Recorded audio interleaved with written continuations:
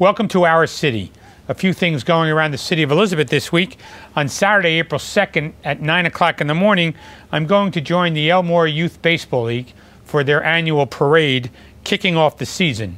The parade begins at Springfield Road in the city of Elizabeth and will finish at the Hanratty complex on Westfield Avenue. Later that afternoon at 3 o'clock, I'm going to join the Department of Health and Human Services as well as members of the community for the annual Autism Awareness Walk. This will be in honor of World Autism Awareness Day. This event will take place at the Veterans Memorial Waterfront Park at the end of Elizabeth Avenue and Front Street. For more information, call 908 820 4050. And later that evening will be the 23rd anniversary dinner of the Elizabeth Youth Soccer Club, and that will be held at the Portuguese Instructive Social Club on routes 1 and 9 and Grove Street. For more information, please contact Ms. Carla Rodriguez of the Portugal Day Committee at 908 347 4209. And on Monday, April 4th at 10 o'clock, I'm going to attend a health conference for National Public Health Week, which will be held at the Neighborhood Health Center located at 184 First Street. I would like to now take the opportunity to wish one of our residents, Mr. Buddy Burrill, a lot of luck as he will participate in a bowling tournament at Brunswick Zone Carolina Lanes in New Brunswick on April 2nd. Good luck, buddy. We're all rooting for you. So if you need more information on these events or any other events, please call our public information office at 908 820 4124. So please stay with us after these messages where we're going to talk with some nurses about um, ooh, health issues.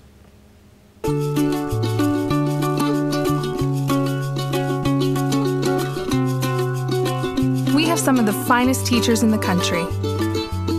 And then they graduate. Kean University. Welcome back to our city, where I'm pleased to be joined by Miss Eileen Kelly, who's the supervisor of Elizabeth Public Nurses, and Miss Karen Schott, who's the assistant supervisor of nursing.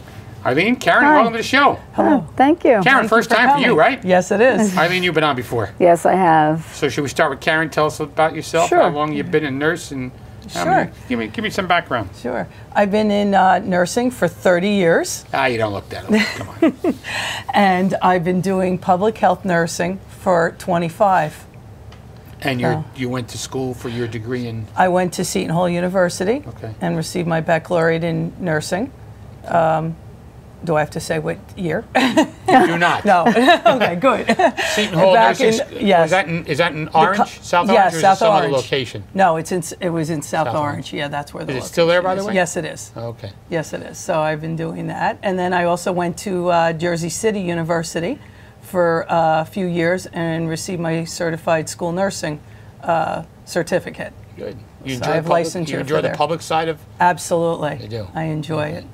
So Eileen, you grew up with this, right? In, in the, I actually um, was born and raised in Staten Island. I came to. Jersey and Elizabeth, and I went to Elizabeth General Hospital School of Nursing. So I graduated there and went to Union College, and I started working at Elizabeth General Hospital, you know, years ago. Um, then I, you know, raised a family. And, um, you know, I was still in and out of nursing, working in nursing homes. And then I graduated from Kean University with, um, you know, my uh, bachelor's, my BSN in nursing in 2003. So, so when you went to Elizabeth General Medical Center, did they have the dorms for the students back I, then? I lived in them. You did. I used yes, to visit them. I know you did. Yeah. I remember You a can't time tell those because stories. I can't tell those stories No. because a lot of the students were from Elizabeth, you know, and I, I was. and we were know, just looking for a date. That's right. Yeah. So it was funny, a lot of, lot of good times. So they, those those dorms are long gone. yes, they are. The And they- program the program now is strictly uh, yeah, travel. You're Yeah, right. hmm Yeah. So, National Public Health Week. Um, every year we do this. Can you? Who wants to start? Tell Well, us a little. it's usually about. the first week in April, um, April 4th to about the 10th. But the City of Elizabeth is actually extending it a little because of the autism uh, walk. They're doing that on April 2nd, and then we, we're ending it on April the 11th. They have some other events. Um, so we have a lot of activities planned. Um, you know, they should be posted, you know, on the, the City of Elizabeth um, website. They're having um, a basketball game. They, we're, we're actually having, um, I put my glasses on. Like the Friday, April 1st is where I should have denim- asked her what year she graduated from when Yes. she was in the classes. right? Yes. Um, okay. Friday, April the first is where denim for autism and the five dollar donation, you know, would be collected for that. And then they have the walk, and then on uh, Monday, uh, besides you know the pref- press conference you're going to, we're doing uh, lead screening. Uh, the Peterstown Community Center uh, after hours, like from three to five. And we normally do that at our clinics, but we thought it'd be good for National Public Health Week.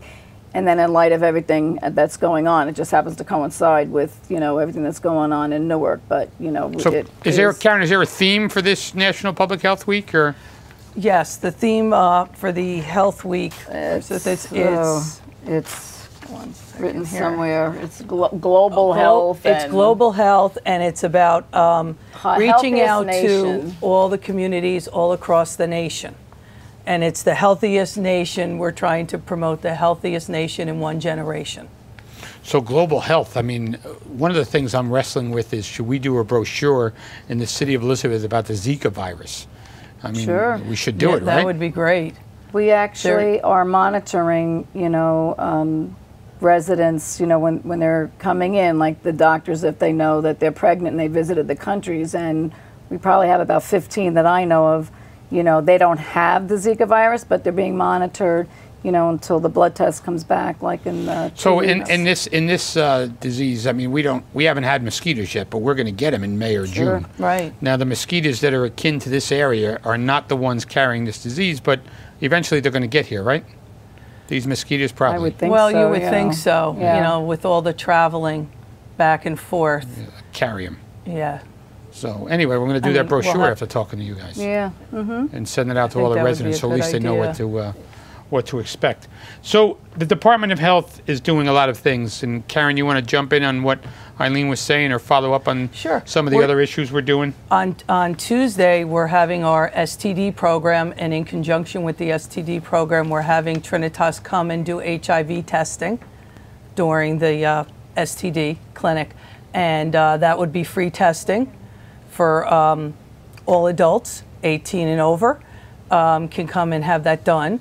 On Wednesday, we're having um, we're having our pediatric clinics, which we have uh, Wednesday mornings, and then in the afternoon we're doing our blood pressure and anemia screening program for National Public Health Week, and that'll run from one to two o'clock in the afternoon at the Peterstown Community Center. So, Karen, let's talk about the STD, which is sexually transmitted diseases and HIV. And when I was over there getting a tour and learning about these two diseases from Eileen, it's an extremely confidential process. And I think you need to tell our viewers that this is done in a confidential way. It's absolutely confidential.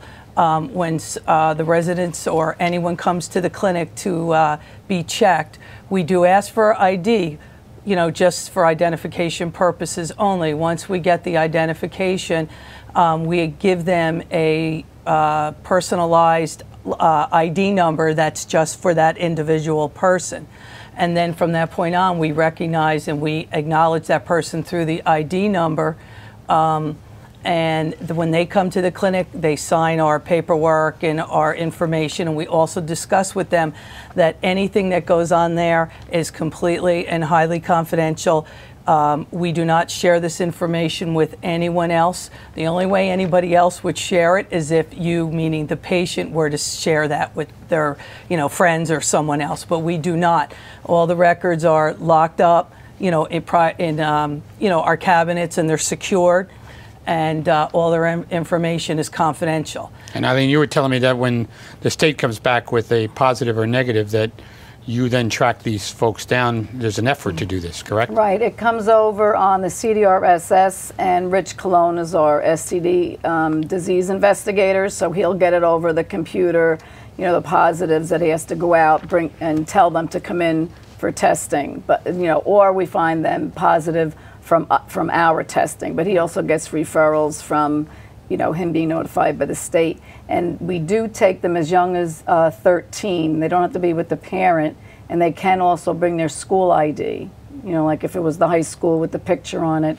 you know, if they're not driving and they're like 15 or 16, you know, we do take the school ID from them. And we don't tell their parent, like some of them come with the parent, but that parent isn't in the room. I mean, even though you know the, the student or, you know, the, the patient is coming with his mother and told his mother, but that, you know, that person's not letting the room with them. Okay. And even if the parent tries to ask us, Yeah.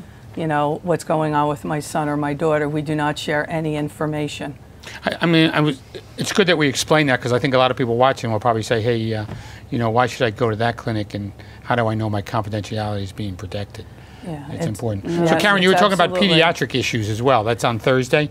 Uh, some things we're doing with kids. Well, we have our pediatric uh, vaccine clinic Right. that runs, uh, you know, every day, Monday, uh, Tuesday, Wednesday, and Thursday.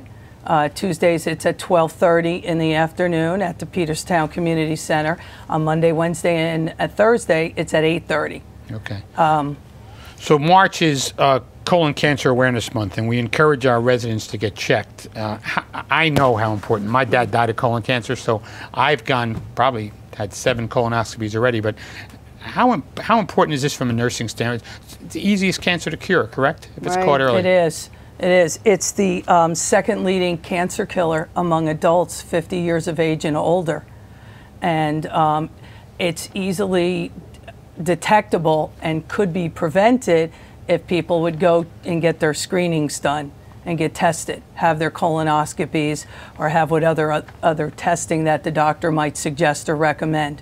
And if they did that, the the, the statistics show there's about 60 percent of adults that could be, you know, colon cancer could be prevented if they were to do that.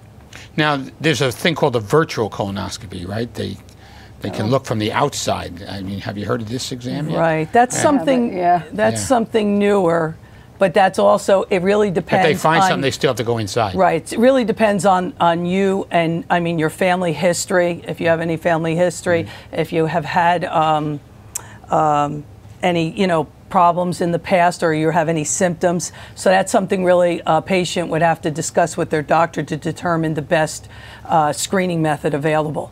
And how do we encourage people come in? Do we talk to people and say, hey, you know, if you're over 50, you should really go get a screened. Uh, Right, or if you're high risk, you know, you might High have to go right. younger, but it depends on the doctor and like your insurance if they'll cover it, you know. But Right. you know, if it's high risk or runs in your family, then you know they would cover it. So residents can go to the website and find out about these events. Are the events free? Expense are free, yes. We don't charge for for anything. And some of the partners that we're teaming up with to make this possible?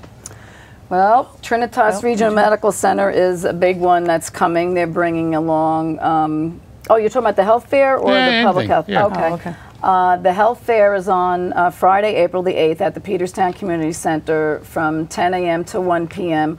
We have about 28 vendors that are coming uh, from outside. uh, Well, they're from Elizabeth, but then you know outside of you know uh, our department. Trinitas is. Um, they're bringing a CPR and choking mannequin. I believe they had that the last time. That was a big hit. Uh, there's somebody that uh, represented from their sleep center. I know that it was like a big hit. With they brought the residents. Somebody choking is a big well, hit. yes, it, it you know it was a, a half of a body in the head, and you know it just the, you know how they did the CPR. It was Right. it was a big hit. Uh, we have a dietitian coming from there and a physical therapy. We have Amber Court, the Gateway uh, Family Y is coming. Michael Johnson's coming from there. PNC Bank, Alzheimer's. We have a lot of um, uh, healthcare organizations that will come to offer, you know, they'll give information about the services they provide uh, if they're a caregiver, or they'll call, uh, talk about insurance. They also have um, a vendor that's coming that also can offer jobs to a certified nurse's aide.